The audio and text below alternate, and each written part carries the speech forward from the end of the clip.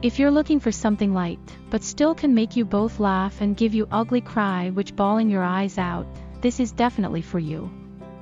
Pawn is a movie that worth every minute of yours. A family comedy drama which is a great examples of the bonding of non-related blood relationships. It was directed by Kong Dae-gyu and produces by Yoon Jae-non. The movie Pawn is based on the story of how non-related blood can play a major role in someone's life and become a family. The movie starred veteran actors Sung Dong-il, Ha Ji-won, Kim Hee-won, Kim Yoon-jin, and the adorable child actress Park So-hee.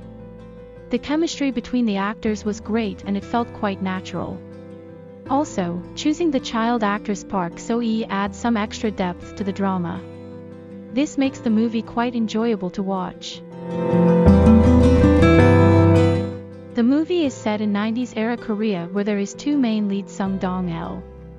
He is quite gruff and grumpy. There is Jong Bae, his bumbling partner. They work as debt collectors for a moderately successful businessman in Incheon.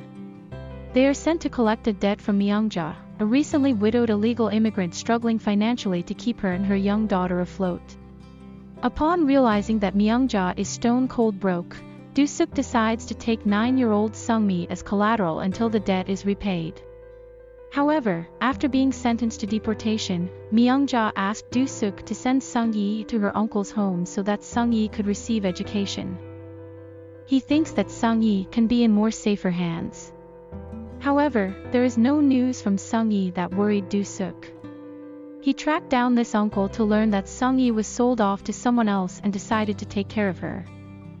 Initially, the men faced the problem of raising a child. But with time the girl makes them both more responsible and well-mannered. They fall for the charm of the cute little child.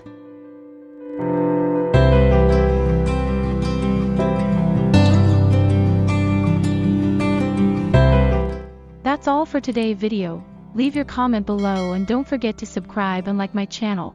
See you in my next video and have a great day.